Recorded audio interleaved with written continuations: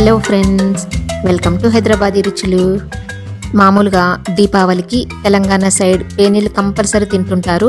చాలామందికి తెలిసే ఉంటుంది ఇది. కాకపోతే ఎవ్రీ టైం మనం బయట స్వీట్ షాప్స్లో తెచ్చుకుంటుంటాం కదా. అలా కాకుండా ఈసారి ఇంట్లోనే హైజెనిక్గా ప్రిపేర్ చేసుకుందాము.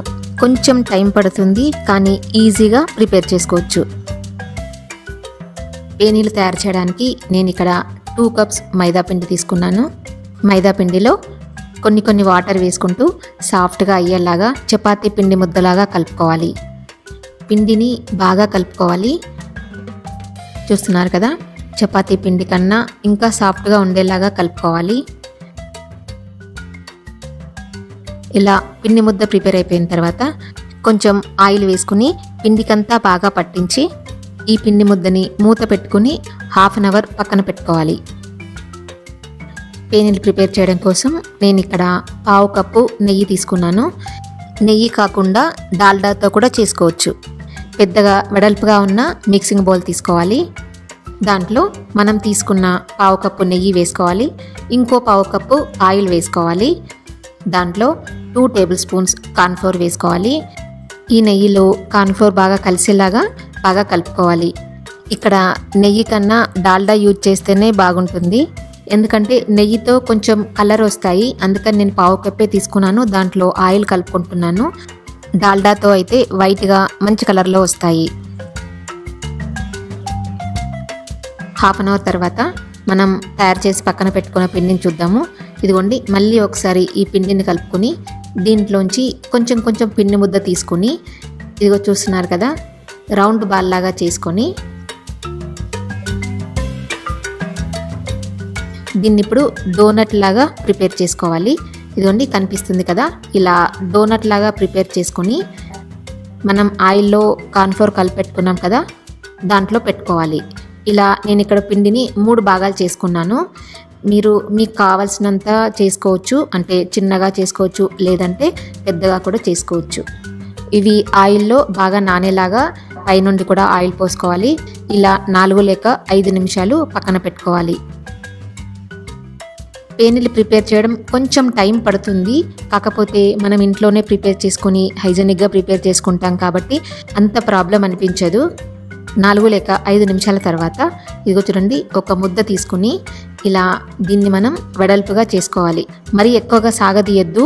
మనం ఇలా దీన్ని కదుపుతుంటేనే అది సాగిపోతుంటుంది. ఇదిగోండి జాగ్రత్తగా నెమ్మదిగా ఈవెన్గా వెడల్పుగా చేసుకున్న తర్వాత దీన్ని మడుచుకోవాలి. ఇదిగోండి కనిపిస్తుంది కదా మెలిక వేసుకోవాలి. ఎయిట్ లాగా మెలిక వేసుకుని దాన్ని మళ్ళీ జీరో లాగా చేసుకోవాలి. ఇదిగోండి కనిపిస్తుంది కదా ఇలా మెలక వేసుకుని కొంచెం వెడల్పు చేసుకుని పక్కన పెట్టుకోవాలి. మళ్ళీ నెక్స్ట్ ఇంకొకటి చూద్దాము. ఇలాగే అన్నీ చేసుకొని పక్కన పెట్టుకొని రెండు నుంచి మూడు నిమిషాల వరకు రెస్ట్ ఇవ్వాలి. అంటే ఈ ఆయిల్లో కొంచెం నాననివ్వాలి. మూడు చేసేసుకున్నాం కదా తర్వాత మళ్ళీ ఇంకొకసారి దాన్ని కూడా వెడల్పుగా చేసుకోవాలి. జాగ్రత్తగా చేసుకోవాలి. ఎక్కువ సాగనివ్వద్దు. మనం మన చేతులను కదుపుతుంటే అదే సాగిపోతుంది. మళ్ళీ సెకండ్ టైం కూడా ఎయిట్ లాగా చేసి దాన్ని జీరో లాగా మెలితిప్పుకోవాలి. ఇది ప్రాసెస్ కొంచెం టైం పడుతుంది. అంటే half an hour to forty five minutes వరకు పడుతుంది. ఇలా కంటిన్యూ చేస్తూ మనం ఇప్పుడు రెండు సార్లు చేసాము మూడుసార్లు కూడా చేస్తున్నాము. అంటే ఇలా చేస్తూ సెవెంటీన్ టు ఎయిటీన్ టైమ్స్ చేసుకోవాలి. ఇలా చేయడం వల్ల మనకి పొరలు పొరలుగా వస్తుంది. మెయిన్ ఏంటంటే ఇవి మధ్యలో బ్రేక్ అవ్వకుండా చూసుకోవాలి. వెడల్పుగా చేసుకుంటూ మెలిక వేసుకుంటూ మళ్ళీ పక్కన పెట్టుకొని మళ్ళీ రెండు నిమిషాల తర్వాత మళ్ళీ చేసుకుంటూ ఇలా చేసుకుంటూ ఉండాలి.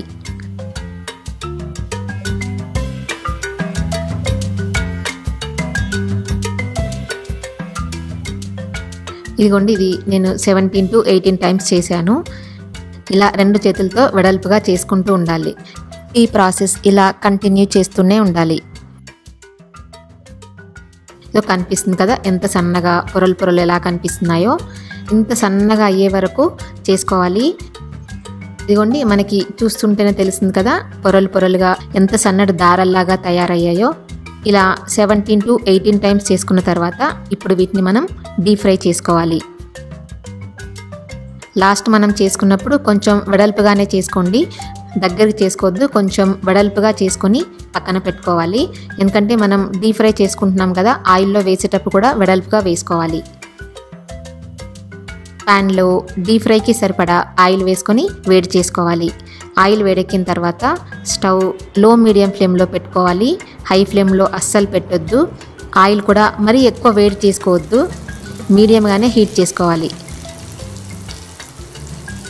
ఆయిల్లో కూడా కొంచెం వెడల్పుగా వేసుకోవాలి. దాన్ని మనం ఫోర్క్తో కానీ లేదా ఏదైనా పుల్ల లాంటి దాంతో ఇలా వెడల్పుగా అనుకోవాలి. వెడల్పుగా అంటేనే ఆ థ్రెడ్స్ అన్నీ విడిపోయి విడివిడిగా వచ్చేస్తాయి. లో మీడియం ఫ్లేమ్లో పెట్టుకొని ఫ్రై చేసుకోవాలి. ఒక్క నిమిషం తర్వాత జాగ్రత్తగా తిరగేసుకోవాలి. హై ఫ్లేమ్లో పెట్టుకుంటే కలర్ చేంజ్ అవుతాయి. అందుకని లో మీడియం ఫ్లేమ్లోనే పెట్టుకొని ఫ్రై చేసుకోవాలి. రెండు వైపులా తిప్పుకుంటూ క్రిస్పీగా అయ్యే వరకు ఫ్రై చేసుకోవాలి.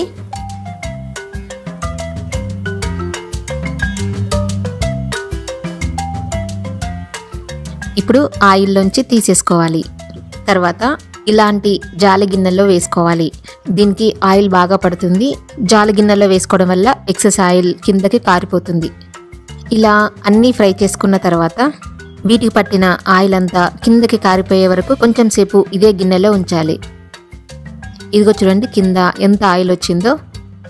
ఇప్పుడు ఇలా ప్రిపేర్ అయిన పేనీలని పాలల్లో కుక్ చేసుకొని తినొచ్చు లేదా పాలు షుగర్ కలుపుకొని తినొచ్చు. కొంతమంది షుగర్ సిరప్లో కూడా వేసుకొని తింటారు. లేదు అంటే కునాఫా లాంటి స్వీట్స్ కూడా వీటితో ప్రిపేర్ చేసుకోవచ్చు. ఈ పేనీలు దాదాపుగా అందరికీ తెలిసే ఉంటుంది.